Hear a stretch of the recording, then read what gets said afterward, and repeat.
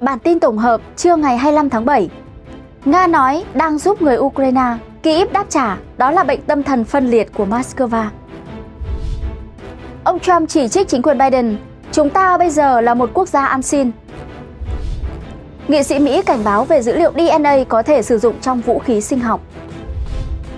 Trung Quốc đón đợt sóng nhiệt kỷ lục, lo ngại vỡ đập vì băng tan. Đầu tư vào Trung Quốc ngày càng trở nên rủi ro hơn đối với các công ty Mỹ và ngoại quốc.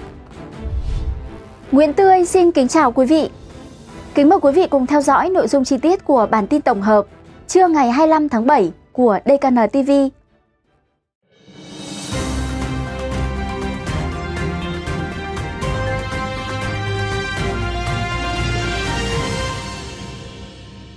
Mở đầu chương trình là phần tin tức liên quan đến chiến sự tại Đông Âu.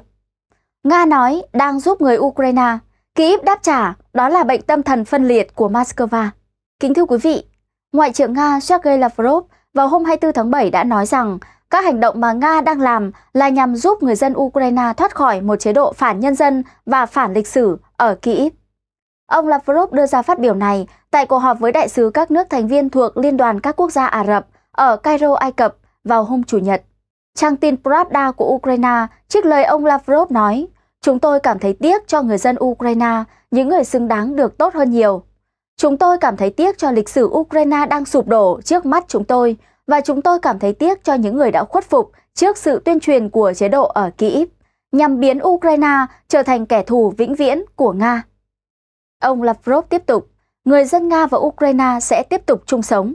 Chúng tôi nhất định sẽ giúp người dân Ukraine thoát khỏi một chế độ hoàn toàn phản nhân dân và phản lịch sử. Kyiv cho biết, kể từ khi xâm lược vào năm 2014, Nga đã coi mọi chính phủ ở Ukraine là chống lại người dân, cho dù là nhiệm kỳ tổng thống của ông Poroshenko hay của ông Zelensky.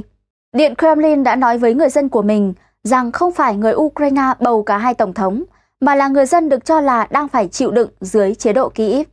Đáp lại lời của Ngoại trưởng Nga Lavrov trên Telegram, cố vấn Tổng thống Ukraine, ông Mikhailo Podolyak đã nói rằng đó là bệnh tâm thần phân liệt, cổ điển của Nga. Và điều này đến từ một người nào đó, đại diện cho một quốc gia man dợ, đã xâm lược lãnh thổ nước ngoài mà không có lý do và đang giết người Ukraine một cách tàn bạo nhất có thể. Ông Podolyak nói thêm, chế độ là thứ mà chúng tôi tìm thấy trong các nhà tù của Nga. Trong khi ở Ukraine, một chính phủ được bầu cử hợp pháp đã giành chiến thắng trong các cuộc bầu cử dân chủ, công bằng, cạnh tranh. Quá nhiều từ ngữ xa lạ với giới thượng lưu Nga trong một câu, phải không? Cố vấn Tổng thống Ukraine còn nhấn mạnh thế giới văn minh cực kỳ khinh thường những người được ghi nhận đã phạm rất nhiều tội ác chiến tranh nghiêm trọng. Tiếp theo chương trình là những tin tức đáng chú ý từ nước Mỹ. Ông Trump chỉ trích chính quyền Biden, chúng ta bây giờ là một quốc gia an xin. Thưa quý vị, cựu Tổng thống Mỹ Donald Trump trong một bài phát biểu rực lửa vào tối 23 tháng 7 tại Tampa, Florida đã chỉ trích gay gắt các chính sách thất bại của chính quyền Joe Biden. Chúng ta bây giờ là một quốc gia ăn xin. Hãng tin Newsmax trích lời ông Trump nói với đám đông trẻ tuổi tại hội nghị thượng đỉnh hành động ở Tampa. Chúng ta là một quốc gia ăn xin. Khi Joe Biden đang quỳ gối cầu xin năng lượng từ khắp nơi trên thế giới, ông ta sẽ đến Venezuela, Ả Rập Saudi và đến các quốc gia trên toàn cầu để yêu cầu giúp đỡ. Ông Trump cũng nói, bạn có thể tưởng tượng được điều này không khi chúng ta có nhiều vàng lỏng ở dưới chân mình hơn bất cứ quốc gia nào khác? Ông cũng lấy Đức làm ví dụ về chính sách năng lượng thất bại khi đi theo nghị trình từ bỏ nhiên liệu hóa thạch tiến tới năng lượng tái tạo, mô tả họ đang cầu xin Nga. Ông Trump cũng nhắc lại việc các chính trị gia Đức đã cười khi ông cảnh báo điều này tại Liên Hợp Quốc. Và hóa ra là đúng, ông Trump nói, và không ai biết điều đó sẽ xảy ra sớm như vậy. Đề cập đến nghị trình biến đổi khí hậu mà gánh tả đang thúc đẩy. Ông Trump nói đây là một trò lừa bịp và cam kết sẽ đánh bại. Ông Trump cũng tuyên bố sẽ hỗ trợ tin tức hợp pháp mà ông nói hiện đang đạt được những bước tiến chống lại tin giả trong bối cảnh thất bại của chính quyền Joe Biden. Trong hai năm qua, thế giới đã chứng kiến chương trình nghị sự của phe cánh tả cực đoan đang hoạt động và rất buồn khi theo dõi. Ông Trump nói, kết quả tồi tệ hơn bất cứ điều gì mà mọi người từng có thể tưởng tượng. Cựu Tổng thống cũng than thở người Mỹ đang phải trả giá cho lạm phát và ngoài việc mất độc lập về năng lượng, họ còn đang phải đối diện với tội phạm bạo lực với biên giới rộng mở của chính quyền Biden. Ông còn cho rằng cái chết và sự tàn phá của nước Mỹ ở các thành phố do Đảng Dân Chủ điều hành là của một quốc gia thuộc thế giới thứ ba và thậm chí còn tồi tệ hơn cả Afghanistan. Trong phong trào của chúng tôi, chúng tôi tin rằng Mỹ nên là một nơi tôn nghiêm cho những công dân tuân thủ luật pháp, những người yêu mến đất nước của chúng tôi, chứ không phải cho những tên tội phạm ngoài hành tinh. Ông Trump cho biết, chúng tôi đã trải qua 18 tháng mà không có một binh sĩ Mỹ nào bị giết ở Afghanistan, rất khác so với các thành phố do Đảng Dân Chủ điều hành, nơi có rất nhiều người bị giết trong một tuần lễ. Đó là những thành phố do Đảng Dân Chủ điều hành tồi tệ. Đối với những người bảo thủ, ông Trump tuyên bố sẽ chấm dứt kiểm duyệt đảng phái và chính trị, chê bai các phương tiện truyền thông tin giả đã trở thành đối tác của hệ tư tưởng cánh tả. Họ từng giống như cảnh sát vì sự trung thực, và bây giờ họ không có tín nhiệm gì nữa. Ông Trump nói về các phương tiện truyền thông tự do.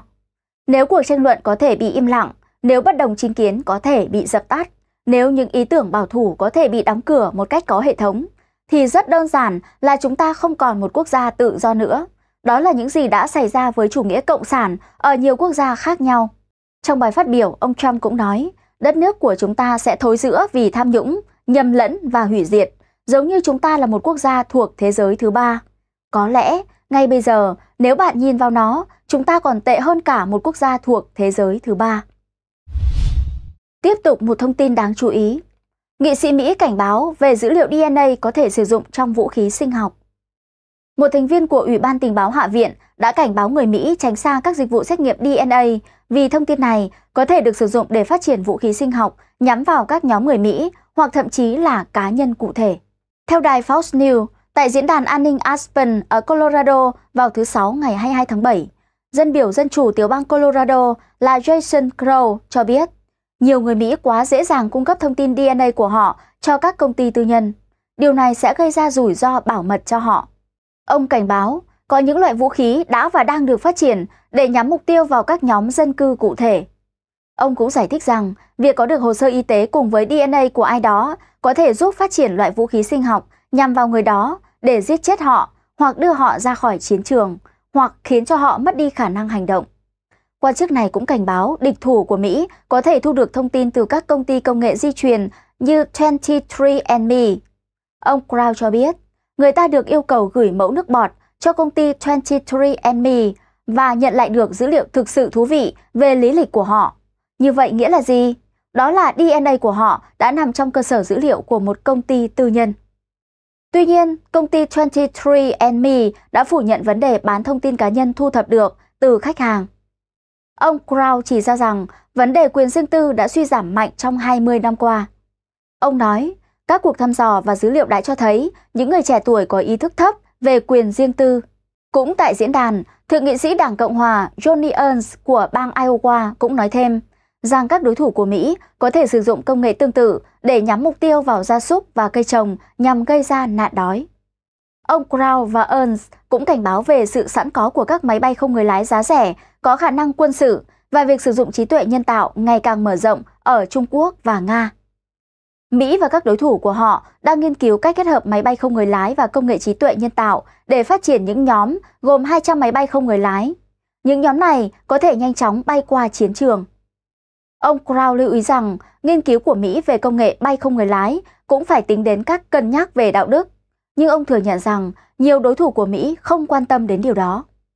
Trong chương trình phỏng vấn của đài Fox News vào hôm ngày 5 tháng 12 năm 2021, chuyên gia về các vấn đề Trung Quốc Gok Đông Trang cũng từng nói rằng kho dữ liệu gen đã giúp cho Trung Quốc có năng lực tạo ra vũ khí sinh học nhắm vào một nhóm người nào đó.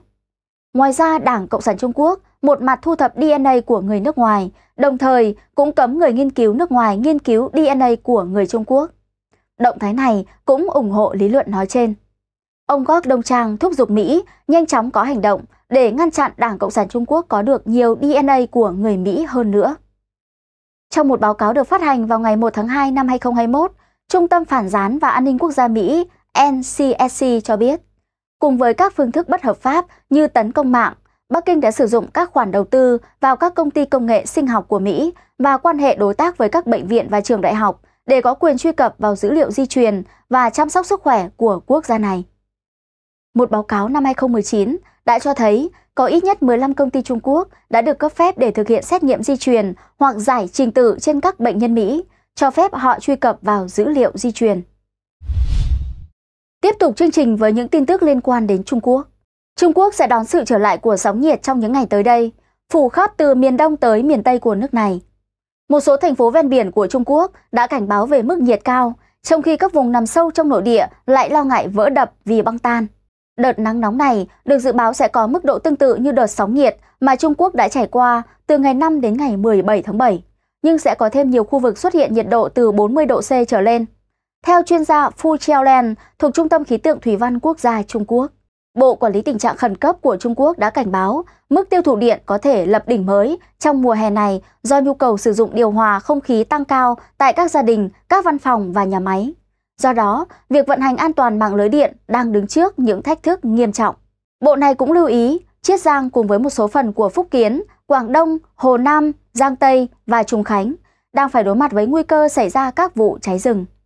Ở Tân Cương, tốc độ băng tan được dự báo sẽ gia tăng cho tới hết ngày 29 tháng 7, đặt ra rủi ro lớn với các con sông và con đập. Giới chức cũng đã cảnh báo về nguy cơ vỡ một con đập trên một nhánh của con sông Akshu ở gần biên giới giữa Trung Quốc với Kyrgyzstan. Mùa hè năm nay ở Trung Quốc được cho là nóng hơn bình thường. Từ hôm ngày 1 tháng 6 đến ngày 20 tháng 7, lưu vực các con sông Hoàng Giang và Dương Tử, nơi tập trung các trung tâm công nghiệp và thương mại của Trung Quốc, đã trải qua ít nhất 10 ngày có nhiệt độ cao hơn bình thường so với mọi năm. Không chỉ ở Trung Quốc, sóng nhiệt cũng đang xuất hiện ở nhiều khu vực thuộc Đông Á, Tây Âu, Bắc Phi và Bắc Mỹ, gây ra cháy rừng ở rất nhiều quốc gia. Tiếp tục vấn đề liên quan đến Trung Quốc. Các nhà đầu tư Mỹ và nước ngoài ở Trung Quốc đang gặp rất nhiều rủi ro hơn và lợi nhuận cũng thấp hơn. Theo phân tích của tiến sĩ Antonio Gracefo trên thời báo The Epoch Times, chi phí hoạt động cũng như rủi ro ở Trung Quốc ngày càng gia tăng đang vắt kiệt sức lực của các công ty. Đồng thời, sự suy thoái chung của nền kinh tế Trung Quốc đang làm giảm đầu tư và ngăn cản người tiêu dùng tiêu tiền. Thời buổi kinh tế khó khăn đang làm thay đổi thói quen chi tiêu của người tiêu dùng Trung Quốc. Họ đang mua sắm ít hơn. Khi tiêu tiền, họ cũng càng ngày càng chọn các thương hiệu trong nước và đòi hỏi giá cả thấp hơn. Sự kết hợp của các yếu tố kinh tế và xã hội đang làm giảm thị phần của các công ty nước ngoài. Do đó, các thương hiệu quốc tế phải đối mặt với chi phí cao hơn, rủi ro lớn hơn và doanh thu bán hàng cũng thấp hơn. Nhiều phòng thương mại song phương báo cáo rằng nhiều công ty ngoại quốc ở Trung Quốc đang chuyển đến quốc gia khác, cân nhắc chuyển ra khỏi Trung Quốc hoặc chuyển đầu tư trực tiếp nước ngoài FDI trong tương lai sang các quốc gia khác. Theo Phòng Thương mại Hoa Kỳ tại Trung Quốc, 25% các công ty Hoa Kỳ tại Thượng Hải đã cắt giảm đầu tư. Ngoài ra, 53% các công ty Hoa Kỳ trên toàn nước Trung Quốc có kế hoạch giảm đầu tư vào năm tới nếu như các biện pháp hạn chế COVID-19 vẫn tiếp tục. Và 23% người trả lời một cuộc khảo sát của Phòng Thương mại Liên minh châu Âu tại Trung Quốc đã cho biết rằng họ đang cân nhắc chuyển các khoản đầu tư hiện tại hoặc các khoản đầu tư trong kế hoạch ra khỏi Trung Quốc. Trong số các công ty nước ngoài đang chuyển ít nhất một số hoạt động và đầu tư trong tương lai ra khỏi Trung Quốc, bao gồm có Samsung, LG Electronics, Adidas, Puma, Zoom, Sharp, Hasbro, Kia Motors, Hyundai Motor Group, Hyundai Mobis, Stanley Black Decker, Dell, HP, Google Alphabet, Microsoft, LinkedIn, GoPro, Intel, Sony, Nintendo, Under Armour, Steve Madden và Old Navy. Apple, nhà tuyển dụng lao động khu vực tư nhân lớn nhất của quốc gia này, cũng đang có kế hoạch chuyển hoạt động sản xuất sang các nước khác. Nền kinh tế Trung Quốc đang chậm lại, đồng nghĩa với tỷ lệ thất nghiệp cao hơn, ít việc làm hơn cho lực lượng lao động mới nhất của quốc gia tỷ dân này, gồm 10 triệu sinh viên tốt nghiệp đại học và doanh số bán lẻ cũng bị suy giảm. Rủi ro chính trị gia tăng là một yếu tố khác làm nản trí các nhà đầu tư. Ngay cả trước khi xảy ra đợt phong tỏa gần đây nhất, Phòng Thương mại Hoa Kỳ cũng đã báo cáo rằng hơn 1 phần 3 thành viên của tổ chức này đã lên kế hoạch giảm đầu tư do những thay đổi trong chính sách của chính quyền Trung Quốc, vốn đã trở nên độc hại đối với rất nhiều công ty. Doanh số bán lẻ cũng đang bị ảnh hưởng bởi sự kiểm soát chính trị ngày càng gia tăng. Năm ngoái 2021, một nữ hoàng phát trực tuyến livestream nổi tiếng đã bị mất diễn đàn của mình vì bị buộc tội trốn thuế. Năm nay, một ngôi sao bán lẻ trực tuyến nổi tiếng khác đã bị hạ bệ vì thể hiện món trắng miệng hình chiếc xe tăng trước lễ tưởng niệm ngày lục tứ mùng 4 tháng 6 của vụ thảm sát ở quảng trường Thiên An Môn năm 1989. Trong tháng 4 năm 2022, doanh số bán hàng đã giảm 11% so với cùng kỳ năm ngoái. Và trong tháng 5 năm nay, doanh số đã giảm 6,7% so với năm trước. Đối với tình huống các công ty và cá nhân Trung Quốc rơi vào kiểm duyệt, thì các công ty Hoa Kỳ phải cẩn thận gấp đôi. Tuy nhiên, một rủi ro khác mà các công ty Hoa Kỳ phải đối mặt chính là các quy định hạn chế xuất nhập cảnh. 3 phần tư các công ty Hoa Kỳ đã báo cáo rằng họ gặp rất nhiều khó khăn trong việc đưa nhân viên vào và ra khỏi Trung Quốc.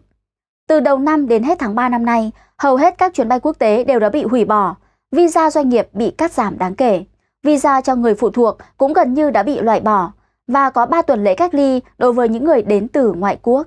Một số biện pháp hạn chế liên quan đến COVID-19 đã được dỡ bỏ, tuy nhiên các quy định về COVID-19 thay đổi thường xuyên và không có cảnh báo trước. Người ta cũng không bao giờ biết được các quy định này có thể xuất hiện lại ở đâu và khi nào hoặc sẽ ở dưới dạng thức nào. Tình hình Đài Loan gây rủi ro đầu tư cho người Mỹ ở Trung Quốc. Người ta không bao giờ biết liệu chế độ Đảng Cộng sản Trung Quốc sẽ xâm lược Đài Loan khi nào và vào thời điểm nào. Không thể dự đoán được tình hình sẽ như thế nào. Có khả năng Trung Quốc sẽ quốc hữu hóa các công ty Hoa Kỳ hoặc đuổi các nhà quản lý và nhân viên Mỹ. Hiện đã rất khó chuyển lợi nhuận kiếm được ở Trung Quốc ra ngoại quốc. Nhưng nếu chiến tranh nổ ra, điều đó có thể trở nên bất khả thi. Năm nay, chiến tranh Ukraine và cuộc đảo chính ở Miến Điện, thường được gọi là Myanmar, làm gia tăng thêm rủi ro. Chi phí nguyên vật liệu và năng lượng cũng ngày càng tăng và làm tăng chi phí. Ngoài ra có rất nhiều khả năng Hoa Kỳ sẽ đưa các biện pháp trừng phạt thứ cấp chống lại Trung Quốc vì đã hỗ trợ Nga hoặc hỗ trợ chế độ của Miến Điện. Việc Cục Dự trữ Liên bang Mỹ Fed tăng lãi suất sẽ làm tăng chi phí đi vay và gây thêm áp lực lên nền kinh tế Trung Quốc. Lãi suất cao hơn ở Hoa Kỳ đang thu hút đầu tư ra khỏi Trung Quốc. Phản ứng của nhà lãnh đạo Trung Quốc Tập Cận Bình là thắt chặt kiểm soát dòng vốn chảy ra. Điều này đã khiến cho các công ty ngoại quốc ở Trung Quốc gặp khó khăn trong việc mua nguyên liệu thô, chuyển lợi nhuận về trụ sở chính hoặc thanh toán cho các nhà đầu tư Hoa Kỳ. Rủi ro đối với các khoản đầu tư của Trung Quốc đang tăng lên, trong khi lợi nhuận thì lại ngày càng giảm. Vì lý do này, nhiều công ty Hoa Kỳ và nước ngoài đang chuyển đầu tư trở lại Hoa Kỳ hoặc ra bên ngoài Trung Quốc. Dự kiến xu hướng này sẽ tiếp tục và có thể đẩy nhanh nếu chiến tranh nổ ra. Kính thưa quý vị, phần tin vừa rồi đã kết thúc bản tin tổng hợp trưa ngày 25 tháng 7 của DKN TV. Cảm ơn quý vị đã quan tâm theo dõi. Kính chúc quý vị luôn bình an và mạnh khỏe. Xin kính chào và hẹn gặp lại.